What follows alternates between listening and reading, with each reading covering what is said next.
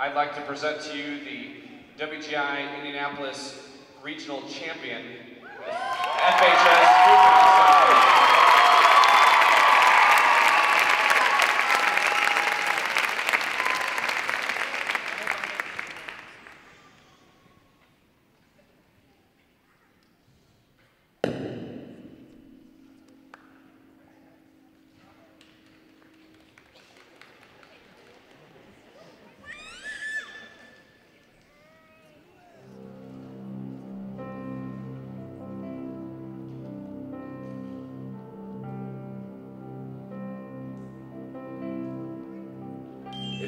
great works of our past, divine and otherwise, that demand our respect and admiration. It is these works we must revere.